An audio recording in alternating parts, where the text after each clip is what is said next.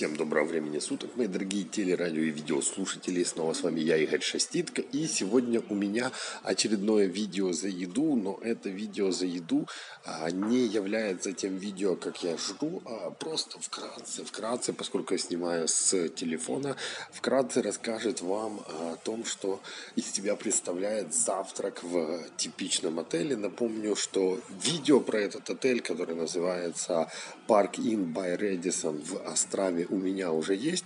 И вот можно, можно посмотреть, что же тут предлагают на завтрак. Очень часто, знаете, завтрак для многих является важным критерием. Например, для меня, поскольку я потом бегу на проект и целый день работаю, а затраты на отель можно списать в расходы, соответственно, а, уменьшить свою налоговую долю.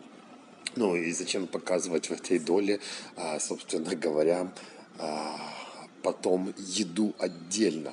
Так что вот примерно такой вот вариант. Ну и давайте, давайте посмотрим такие, что же предлагает Редисон. Редисон э, пишет, что завтрак хороший. Я скажу, что по качеству продуктов он хороший, по разнообразию продуктов. Ну, такое, средненькое. Ну, начнем с самого главного, да буржуйского, так сказать, завтрака или э, э, континентального или английского завтрака. В общем, здесь есть все, что вы хотите. Вот здесь вот внутри находятся э, овсяночка и блинчики. Так что блинчики можете с овсяночкой, можете сами по себе. Плюс, конечно же, сразу есть то, что называется сироп, кленовый сироп он у вас здесь. Традиционные, которые есть практически в любом завтраке. Яичничка, бекончик, жареные, а, что жареное, да, а, ну, грибочки, ладно, шампиньончики, ну, тяжело назвать их грибочками, шампиньончики, а, сосисочки или колбасочки, такое, да. И на гриле, овощи на гриле, а, вареные 10, 5 минут яйца, которые потом есть нельзя. Ну, не знаю, есть, конечно, любители, но я пятиминутные яйца не ем. А различные кусочки сыра, сам по себе, опять же, тоже сыр достаточно дорого стоит, ну и тут качественные сорта сыра. А вот можете увидеть разные, опять же, другие нарезки сыра, колбаски, маринады с огурчиками и тому подобное. Обратите внимание, на чем, на чем они стоят, на книжечках. Тут много таких вот подставочек. Я так и не понял, их надо, надо брать или это просто для эстетического удовольствия локальная, локальная, как они написали, колбаса, она остренькая, очень хорошо идет. Ну и далее, далее у нас тут можно увидеть вот, а, опять же, различные нарезки, различные а, шинка, да, в данном случае вы видите из индюшки и обычная, и тут вот самая вкусная часть, кстати, мне очень нравится, это на самом деле селедка. Эта селедка, она подкрашена чем-то, э, судя по всему, самим соусом подкрашена, но она вкусная. Особенно с хлебушком, когда вы берете тут вверху большой набор хлебушка, когда берете хлебушек, на хлебушек получается классный бутерброд. Я такой ел как-то в Амстердаме. В Амстердаме любят такие бутерброды и продают туристам по 2,50. А сам кусок селедки стоит 70 центов в на два бутерброда, кстати, 70 центов стоит в супермаркете. Ну, то такое. А, опять же, сладенькое на все, что вы хотите сказать, на любой вкус. Кстати, сегодня я, то, что я хочу, нет, потому что тут еще а, было, по крайней мере, вчера были такие, ну, типа заварных, только в виде а, круглых колечек, как это в Советском Союзе называлось, это пирожная мечта.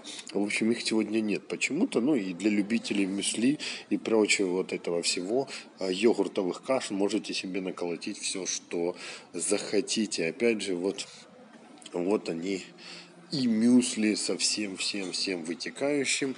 А для тех, у кого похмелье после вчерашнего, ну, как у меня, например, а, то а, здесь вы видите а, обязательная часть, это то, что называется соки, воды. Я обычно, давайте я хлебну бонада.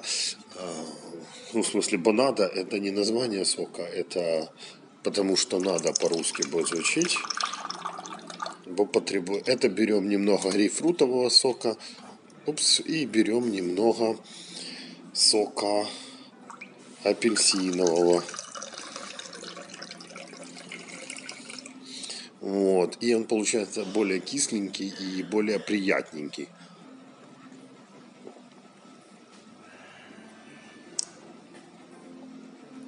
Сразу стало легче. Вот. Это кофе. Причем самое интересное, что а, сами чашечки тоже выдержаны в стиле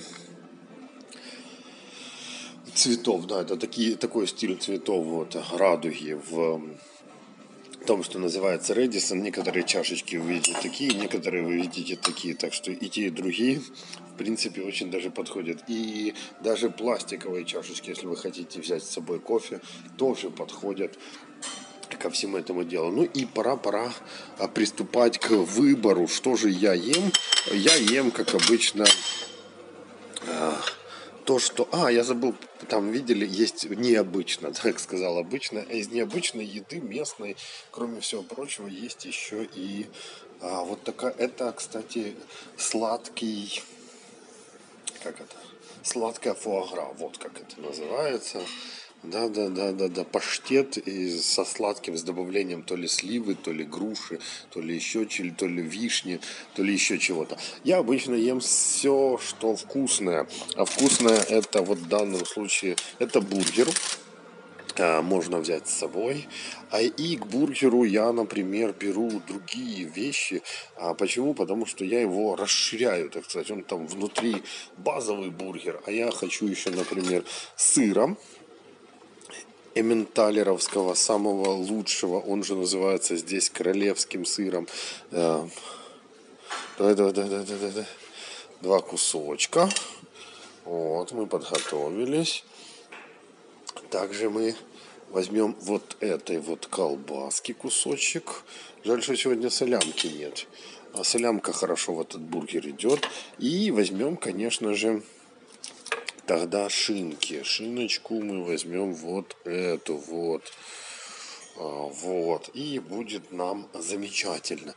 Это только на первый бутербродик. А дальше, дальше, конечно же, все остальное. Это а, и яичничку, и бекончик, и сосисочки, и кетчупы, и кофе, и прочее, прочее, прочее. Ну, в общем, я думаю, вы насладились видом а, того, что называется завтрак в Редисон Inn, парк отель. И всего хорошего. Подписывайтесь, ставьте лайки. С вами был я, Игорь Шастин.